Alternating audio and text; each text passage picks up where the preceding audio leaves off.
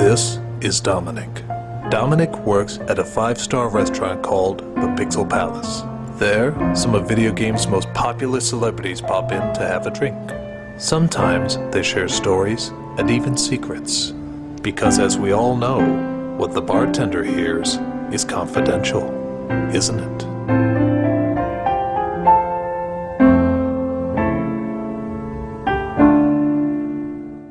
So I'm sitting there tending bar when in walks one of my favourite customers, Samus. Now Samus very rarely takes off her battle gear, even when she's in a bar. Most of her drinks have to be sipped through straws, but this time she took off her helmet. Why? Because she was smiling. She was so happy about something. So I told her, I said, Samus, you look very perky today. She says, What do you mean by that? And I said, No, no, there's a smile, the personality. You seem very perky. And she goes, Oh, oh, yeah, yeah, that's. It's because I'm in a very, very good mood, she says. And so I asked her, Why are you so happy then? She says, I've found someone I've been looking for for a very long time. I said, Who's that? She said, Justin Bailey. I said, Who's Justin Bailey? She said, For the longest time, nobody knew, but apparently there was this code where if you insert his name into the game, you get to see her run around the whole entire game in a bathing suit. And she did not like that at all. She found it demeaning, she found it embarrassing, because she never took that suit off, ever. Even when she went to church, she would still wear it. She was very protective of her body.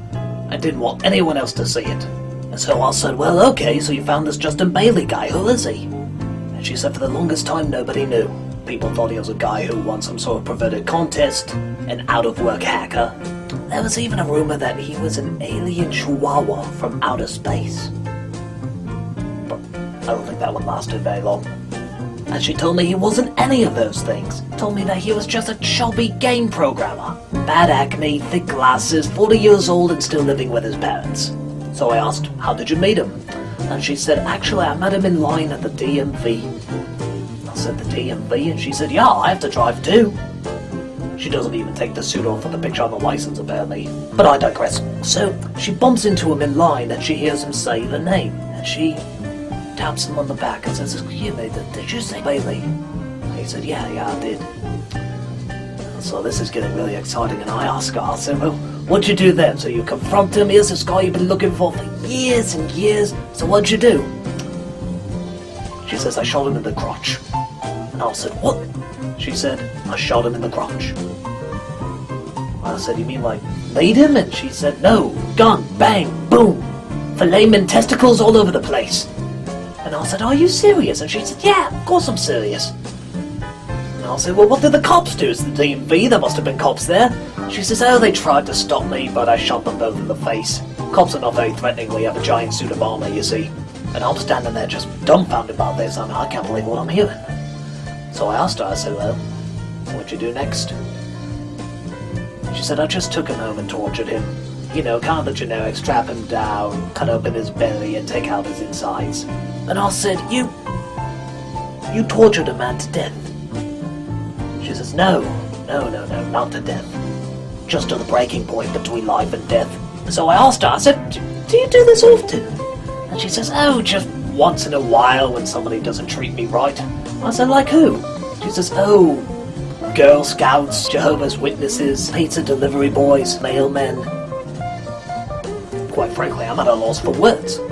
And she says, How come every time that you kill an alien from another world you're considered a hero, yet every time you slaughter five to ten innocent bystanders you're considered a psycho? Well, I'm legitimately terrified right now. I mean, I'm crapping my pants beyond belief. And all I could think to ask her was, Why did you do it? She says, Because they were looking at my body. Bunch of bastards, she said. All they ever think about when they look at me is my body. And I said, Even in the battle gear? She said, Especially in the battle gear. And she told me that she just wanted to set them straight, that the body is in fact a vessel. A very fragile, painful vessel. And she just wanted to jam that into their heads. Before she crammed her laser blast into their heads, that is. And I said, that's a very interesting story you got there, Samus. is there um, any way you thought about making people not look at your body? Outside of torturing them? She says, well, I did have this one idea. You see, I just bought this brand new Zero suit. She said that's gonna change everything. No more people can look at my body. They're gonna respect me as a woman, not as an object. Have you seen her zero suit? The thing is tighter than saran wrap. So she pays for her drink and starts to head out the door. Before she leaves, I'll say, Oi, Samus.